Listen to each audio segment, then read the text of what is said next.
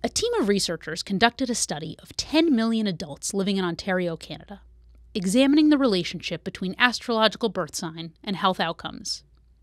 After searching a database with hundreds of the most common reasons for hospitalization, the researchers found that Sagittarians had an increased risk of humerus fractures, while Leos had a higher probability of gastrointestinal bleed compared to people born under all other astrological signs combined. Skeptical? You should be. The study was conducted to illustrate how multiple hypothesis testing, also known as multiple comparisons, can produce associations simply by chance. So, what exactly is the problem with multiple comparisons, and why does it occur? To answer these questions, let's take a step back.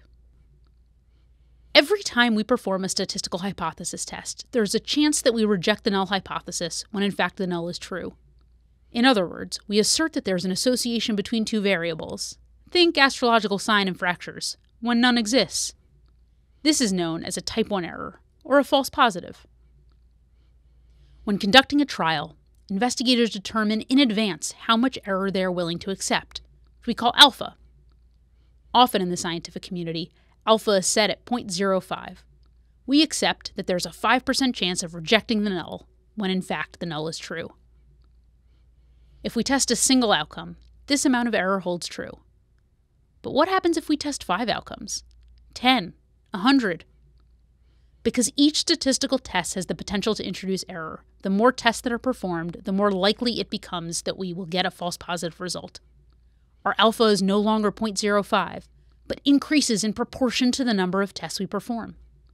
This is known as alpha inflation, and this problem exists even in randomized studies. Not convinced yet? Here's where a bit of math can be helpful. The family wise error rate is the probability of obtaining at least one false positive in a family of hypothesis tests and can be calculated using a simple formula. When we conduct a single test at an alpha of 0.05, the family wise error rate is 0.05, or 5%. By the time we conduct five tests at an alpha of 0.05, there's now a greater than 20% chance of observing one or more false positive results. To adjust this problem of multiple comparisons, we must control our alpha in essence, holding it at 0.05 by correcting for the fact that we're performing multiple statistical tests that might inflate our false positive rate. There are several statistical methods to correct for multiple comparisons. Each has its own set of considerations and applications, which we won't get into here. But now you can be on the lookout for when a trial conducts multiple statistical tests and ask yourself did the investigators correct for multiple comparisons?